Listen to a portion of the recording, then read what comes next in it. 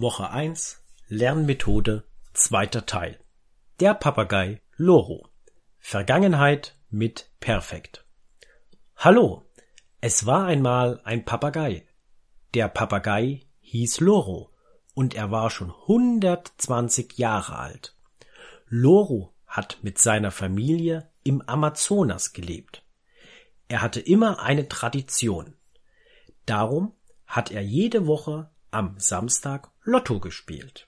Und er hatte immer Pech, weil er immer verloren hat.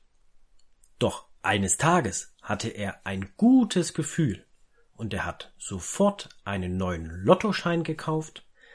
Seine Glückszahlen waren sieben, achtzehn, vierundzwanzig und sechsunddreißig. Loro hatte einen sehr guten Freund. Sein Name war Toni und er war kein Papagei. Er war ein Krokodil. Und zusammen haben sie immer die Lottoziehung angeschaut. Sie haben Popcorn gegessen und Cocktails getrunken. Und Loro hatte recht. Seine Zahlen haben gewonnen. Und er hat 65 Millionen Dollar im Lotto gewonnen.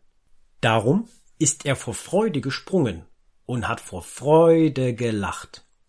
Toni und Loro haben die ganze Nacht gefeiert und waren super glücklich. Loro hatte einen Traum.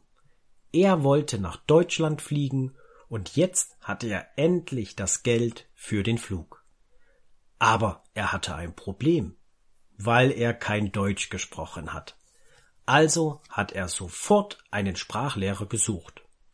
Und er hat den besten Sprachlehrer gefunden.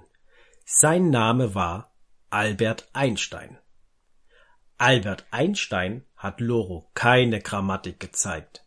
Er hat ihm nur Geschichten auf Deutsch erzählt.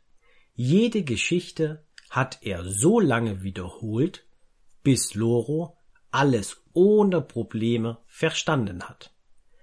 Am Anfang war es für Loro sehr kompliziert, aber mit jeder neuen Geschichte ist es schneller gegangen. Und nach 21 Wochen hatte Loro so viel gelernt, dass er alles verstanden hat und mit Leuten sprechen konnte. Er hat schnell seinen Koffer gepackt und ist losgeflogen. Loro hat seinen Traum gelebt. Er war reich und superglücklich in Deutschland.